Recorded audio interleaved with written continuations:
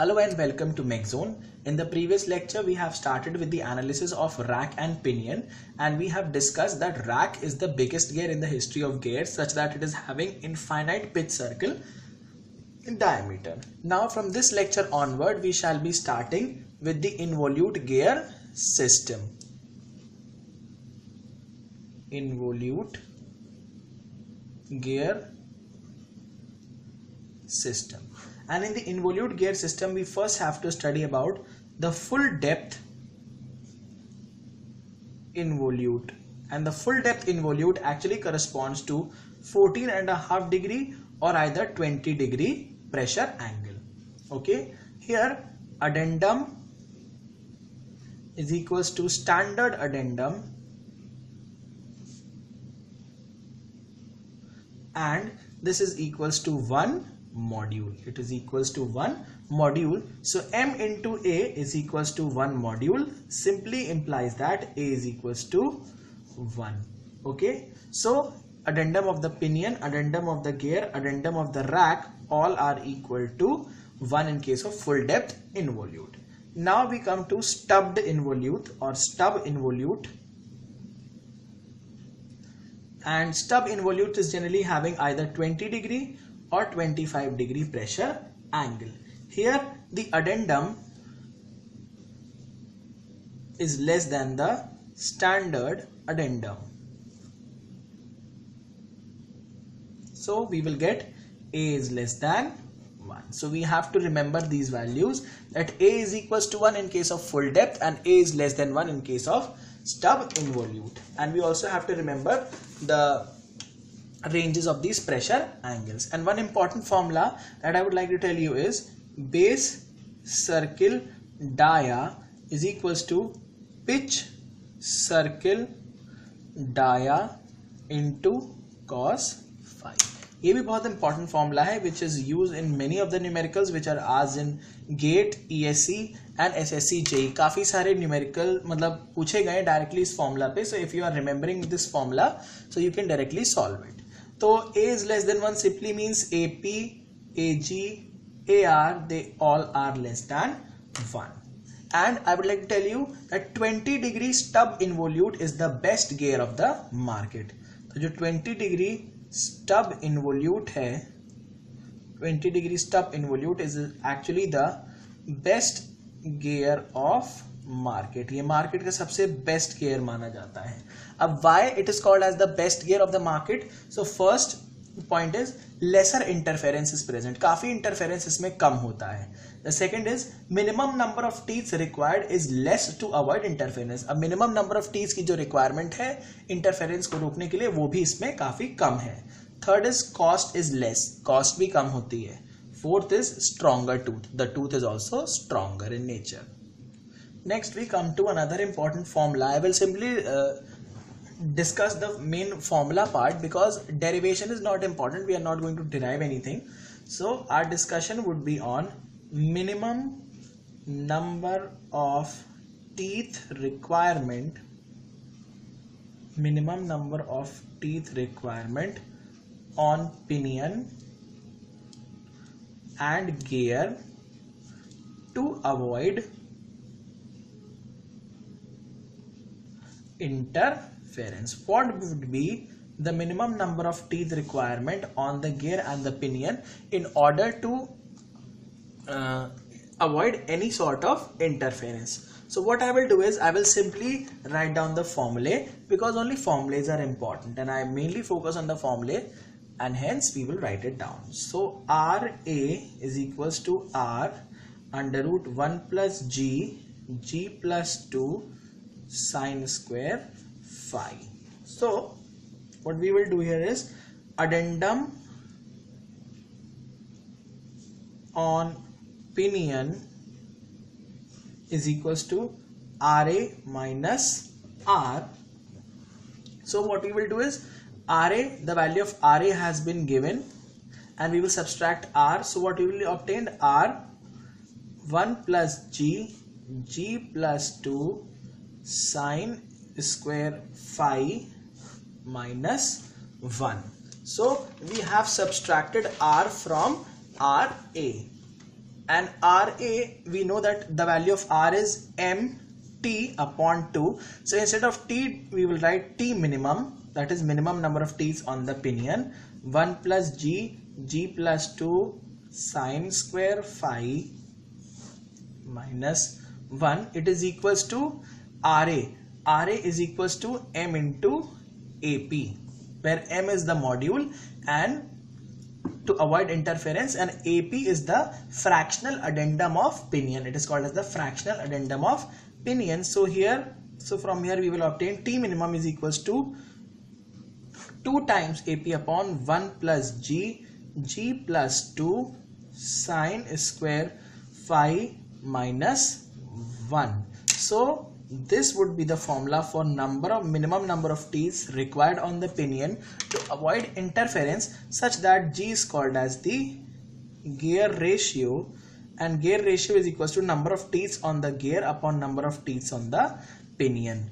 Or omega of the pinion upon omega of the gear is also called as the gear ratio. Similarly, if we write down the minimum number of teeth requirement for the gear, it would be capital T minimum is equals to 2 into fractional addendum of the gear whole upon 1 plus 1 upon G 1 upon G plus 2 we will simply reciprocal sine square phi minus 1. So this would be the minimum number of teeth requirement on the gear and this is the minimum number of teeth requirement on the pinion. Now these formulas are not applicable for rack and pinion. Please mind that these formulas are not applicable for rack and pinion. So now I will write down the formula for the minimum number of teeth on the rack and it is T minimum is equals to 2AR upon sine square phi. This is form this formula is actually used for rack and pinion. And hence we see that this formula is free from gear ratio. This formula is absolutely free from gear ratio. Okay? So this formula is very very important. And some note points here is what is the maximum value of path of approach it would be small r sine phi and maximum value of path of recess it is equals to capital R sine phi.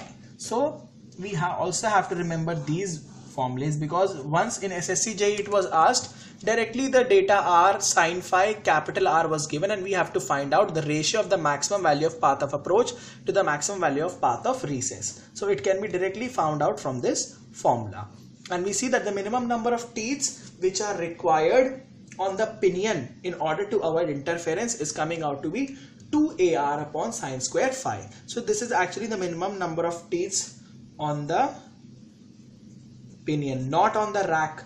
Rack पे नहीं है pinion पे ठीक है? And this is number of teeth minimum in order to avoid interference in involute rack and pinion arrangement so what we are doing is we are mainly controlling the addendum of the rack so rack का addendum हम लोग mainly यहाँ पर control करते हैं। Okay तो अगर मान लीजिए इफ़ बाय सम हाउ और by some chance you are getting the addendum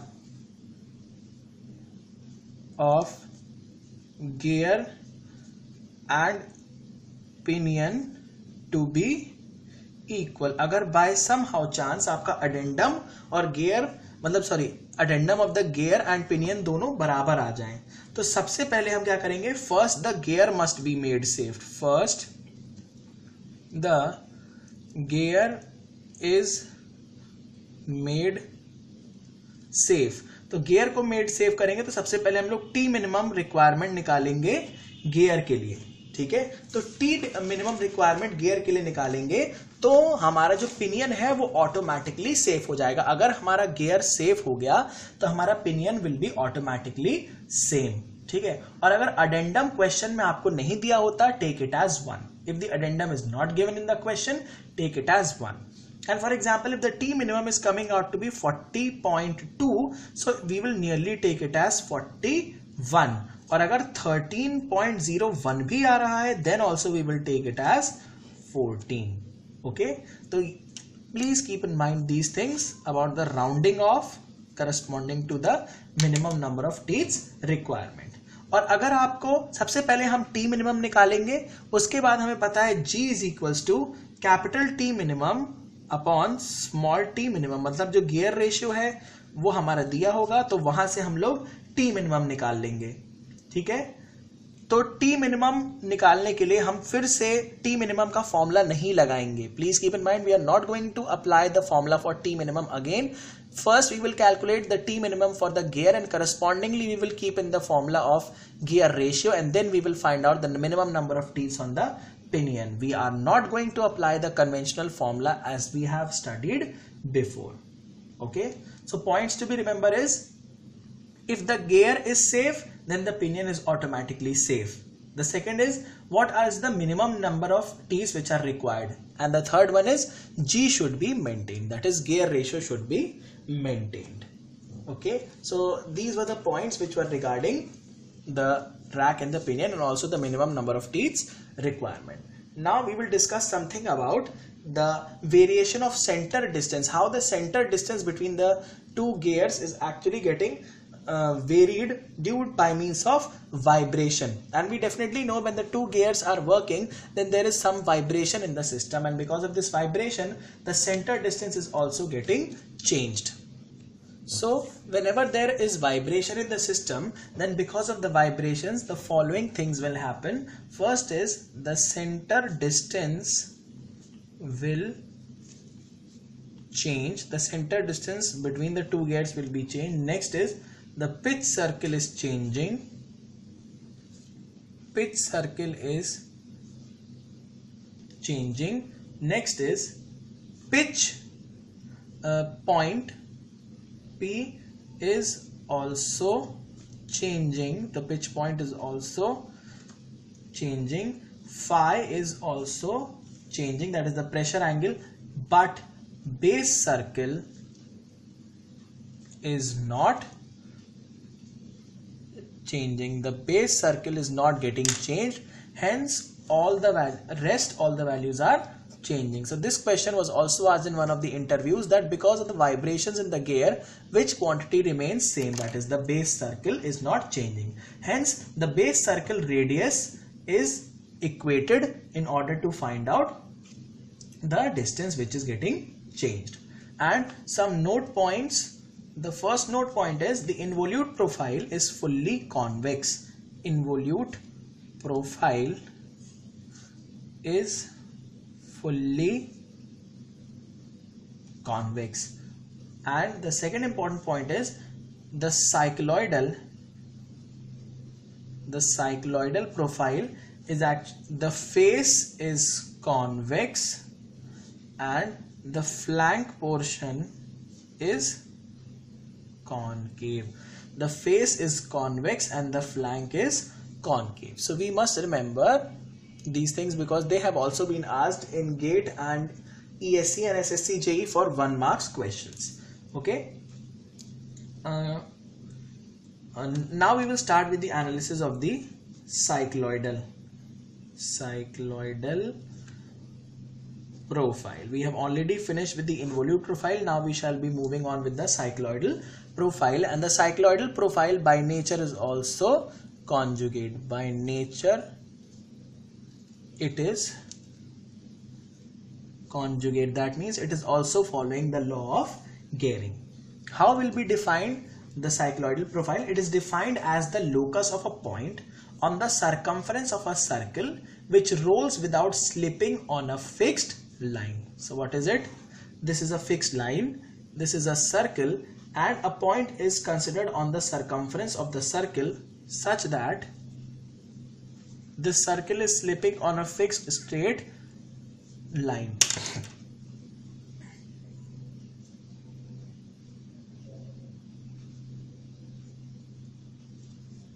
So this is actually the locus of this point and this is the locus of the point is actually the cycloidal profile This is actually the cycloidal profile okay so what is it here we will see that by definition it seems to be just opposite as compared to the definition of the involute profile तो involute का ये absolutely opposite हो जाता है definition का तो इसका जो फेस होता है वो कॉन्वेक्स होता है फ्लैंक होता है that is concave and flank जो होता है वो जनरली वाइडर होता है as compare to the face ठीक है so this was about the cycloidal profile अब कुछ अगर इसकी बात करें तो पर टूथ कॉस्ट अगर if we talk about the per tooth cost is more as compare to the involute profile but overall cost of gear is almost same but overall cost is almost same जो overall cost आती है, वो almost same आती है या somehow कभी कभी less भी आ जाती है as compare to the involute profile और यहाँ पर जो हमारा होता है interference is absent interference is absolutely absent in case of the cycloidal profile and we see that the flanks are wider and hence they are stronger tooth they are stronger tooth why because the flank is wider and face we see that the face is convex and the flank is concave in nature these cycloidal gears actually have more life life is more for such type of gears why? It is because already undercut tooths, undercut tooth are being manufactured. Okay, the teeth, the tooth which are being manufactured are undercut beforehand and hence their life is already more. And we see that here the phi can be change that is phi is changing. But in the involute profile the phi was constant. And changing simply means it can have the following values. It can either be maximum it can either be zero or it can either be minimum. Now this question was also asked in one of the examinations that the value of phi is maximum. When it is maximum it is maximum at the start of engagement. When the engagement starts the value of pressure angle is maximum. It is zero. Where it is zero it is zero at the pitch point and where it is minimum it is minimum sorry it is not minimum again it becomes maximum. It is first maximum then reduces to zero and then again it becomes maximum. And maximum it is at the end of engagement. It is at the end of engagement. So the value of phi that is the pressure angle varies between maximum 0 and again maximum at the start of engagement at the pitch point at the end of engagement. Okay?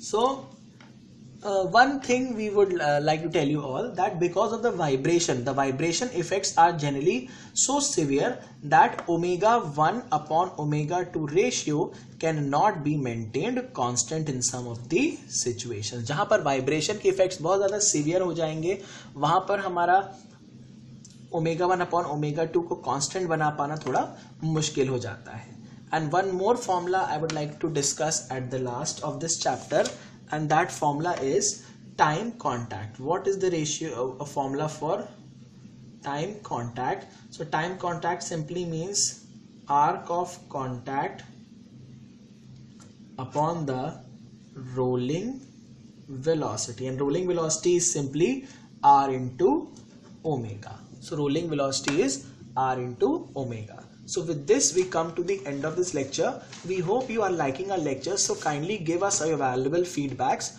And also you can share your problems on our facebook page on on our channel. Uh, and we will revert back within 48 hours and we would try to solve that problem.